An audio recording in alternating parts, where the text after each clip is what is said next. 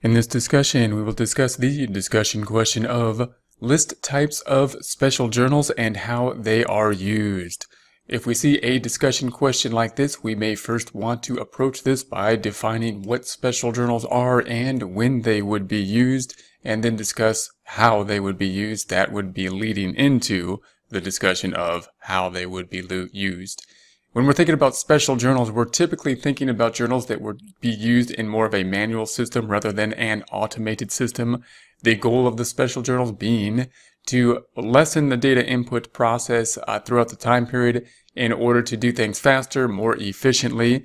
The way we are going to be able to do that is to be able to, rather than record a general journal for each and every transaction, having a debit and credit, at least one for each transaction, and post each one to the controlling general ledger account, we could list similar accounts in these special type journals, grouping similar accounts, accounts that are going to be uh, similar in nature. And by doing so, we can have columns representing the information needed uh, and lessen the amount of data then that would be needed to input into the special journals. We can restrict ourselves from posting each each transaction to the general journal or the general ledger until the end of the time period, at which time we can add up the uh, special journals and record one transaction for the entire time period, the month, the week, or uh, the the day. If we whatever we're doing this over, typically we'll be talking about it for the month and um, then record just one journal entry, and that will hopefully save time for the data input process. Now, the types of special journals we're going to have are going to be grouped by, by similarities in transactions.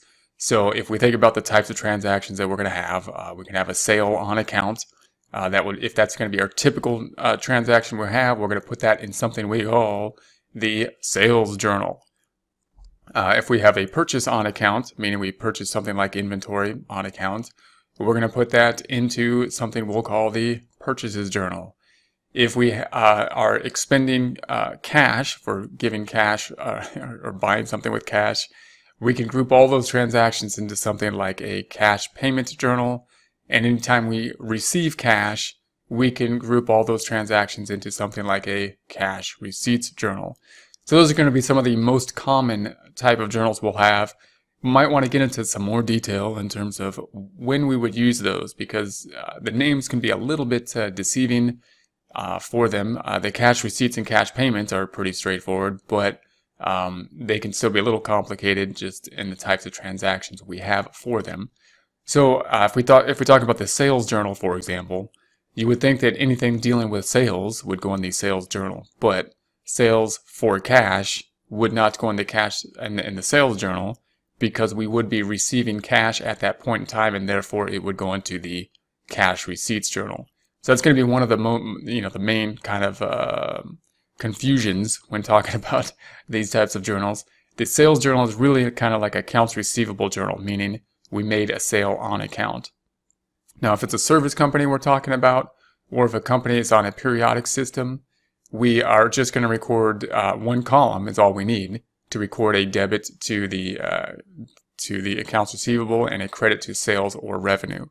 If we're on a perpetual inventory system and we're a merchandising company, we'll also need a column for the cost of goods sold debit and the related decrease in the inventory. When we talk about the uh, purchases journal, uh, once again, it is for purchases. However, if we were to purchase something for cash, then it would go in the cash payment journal. If um, we're purchasing something on account, then it goes in the purchases journal. Also, so really it's more of a accounts payable journal. So if we buy inventory, for example, then uh, that would be our normal transaction. We can record all those in the same journal and debit uh, inventory and credit the accounts payable. However, if we use accounts payable for other transactions like paying expenses, we may have those transactions as well in the purchases journal because it's really kind of like an accounts payable journal. Then the uh, cash uh, receipts journal, it's going to be anytime we get cash. Now, hopefully, uh, to, to be most effective within these journal type processes, we get cash from a very uh, fairly standard type thing. For example, if we make sales for cash, then the cash receipts journal would be very useful and we would uh, record all those similar transactions with one column. But uh, if we have a lot of different things that happen, we get cash um, from from sales, and we have sales on account, so we get we get cash from uh, accounts receivable, and possibly there are investments in cash from the owner. Anytime you know cash is is uh, being received, it could go into this journal. So there are transactions that could be a little more confusing in the cash receipts journal. And then the cash disbursements journal, of course, is when cash is being dispersed. And this is probably the one that has the most types of, of things that could be in it because we pay for many different types of things when running the business. Whereas when we receive cash, we have a fairly limited things, uh, types of things at least, that we're receiving cash for.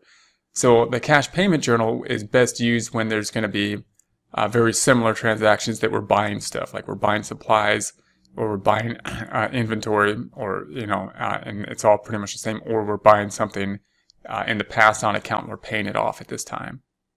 But uh, there could be a lot of different things we pay cash for, so this could be one of the uh, larger journals and more confusing types of journals.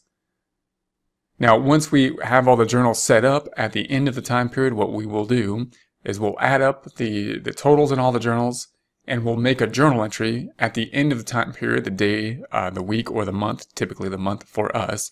And that one journal entry for each of those journals will represent the activity for that entire time period that we just have to record one transaction in the general journal rather than a transaction for each each occurrence, each financial transaction. Uh, and then we will take that entry into the general journal, post it to the general ledger, the controlling accounts. We'll also um, enter this information into the subsidiary accounts, for example, accounts receivable and accounts payable, the accounts listing out the activity by customer or vendor, respectively. And then once we have everything posted to the controlling uh, general accounts and those subsidiary accounts, we will typically then create the trial balance and the financial statements from them. So the goal of this, of course, is to save time. So we're going to be putting it in the special journals in order to uh, record less transactions, typically if using more of a manual system, and then only needing to record one journal entry at the end of the time period representing all of the activity happened during the time period.